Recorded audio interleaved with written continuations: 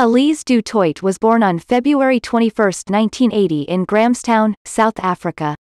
She is an actress, known for Skyfall, 2012, In Your Dreams, 2008, and The Devil's Chair, 2007.